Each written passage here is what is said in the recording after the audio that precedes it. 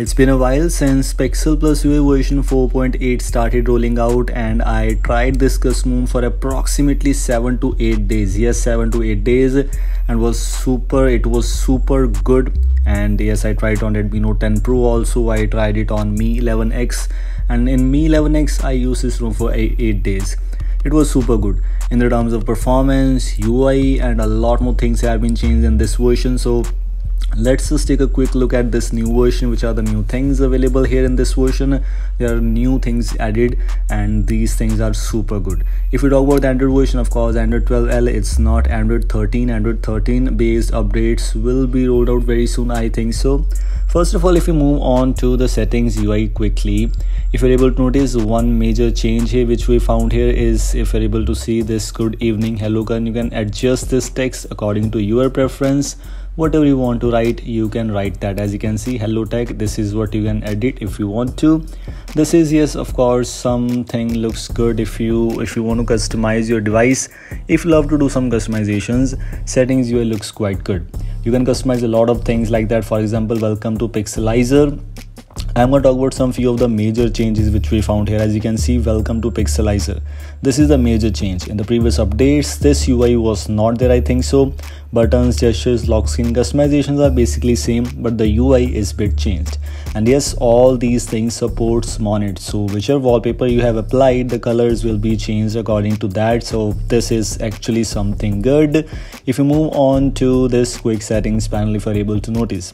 One thing i really liked about pixel plus ui is this kind of quick settings panel is optional. Yes it is available in other customers also. Even in the fluid os it also has that kind of customization things but one thing which i liked is this option which is called switch to fluid ui quick setting style which means this is available as an option. So if you want to use this thing you can. If you don't want to you can revert back to the stock one which is something really good in my opinion. I definitely love this thing other than else if you want to use the stock one you can use that if you want to. Data usage etc background transparency everything which was available in the previous update it's already there too.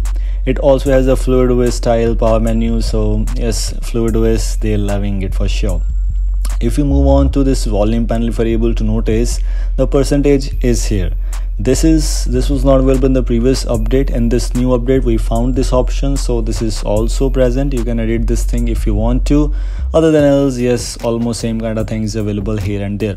Whenever i adjust this volume panel you can see i think so we have 25 volume steps available. I think so because whenever i increase or decrease number 4 or maybe 4 percentages increase or decrease so it's maybe around 25 steps one more thing. This is lock screen clock style which you can adjust which you can change if you want to move on to lock screen. We have some other styles available. You can use a spark style like this.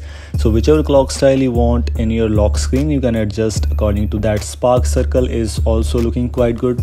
I sometimes use this thing and they've included the pixel plus ui kind of lock screen style.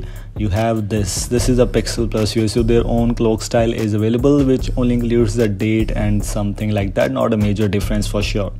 Other than else these are some major changes which we found in this latest update but moving on to some customization section almost all the previous features which were present there are already there.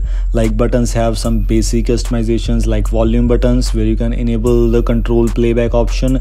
System navigation has the option for pill length and etc but unfortunately you can't hide the pill and maybe you can hide the pill but the keyboard space will be there and it's like that. You it, it does not give the IME button space option unfortunately. So I have to screenshot as expectedly. It's already there.